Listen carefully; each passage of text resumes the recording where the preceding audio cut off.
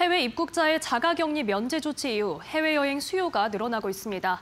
정부는 우리 국민의 일상적 해외여행을 복원하겠다는 취지에 맞춰 지난해 추가 확보해놨던 국제선 운수권을 항공사에 재분, 배분했는데요. 2년 만의 일이라고요. 네, 그렇습니다. 이 국제 항공 노선 운수권은 정부가 항공교통심의위원회를 열어서 국내 항공사들에게 나눠주는데요.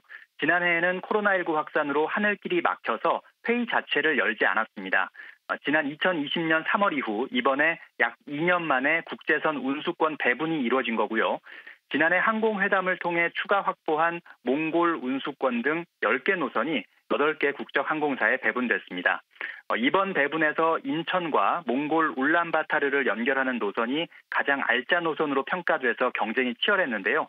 제주항공과 티웨이 항공이 각각 주 4회, 주 3회 운수권을 배분받았고 기존 운항 중이던 대한항공과 아시아나항공은 추가로 주 1회 운수권을 받았습니다. 이 몽골 노선은 성수기 탑승률이 90%에 달하는 데다 비행 거리가 비슷한 홍콩 노선 대비 운임이 2배 이상 비싸다는 점에서 효자 노선입니다. 이 몽골 노선에 저비용 항공사가 신규 진입함으로써 보다 저렴한 운임으로 몽골을 방문할 수 있을지 기대됩니다. 그동안 사실상 독점 운영으로 인한 공급 부족과 항공 운임이 비쌌던 몽골 노선을 LCC들이 새롭게 운항하면서 소비자들의 선택권이 더 높아졌다고 볼 수 있고요.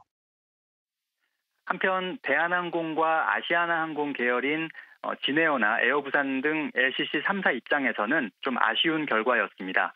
모 회사의 기업 결합이 독점 노선에 대한 운수권 재배분을 조건으로 승인된 것이라는 점에서 영향을 받은 것으로 보입니다. 정부는 이번 배분 결과에 대해 모든 것을 종합적으로 고려해서 판단했다라고 뭉뚱그려 설명했는데요. 향후 운수권 배분에도 기업 결합 이슈가 영향을 줄 수밖에 없을 것으로 예상됩니다. 지금까지 보도부에서 전해드렸습니다.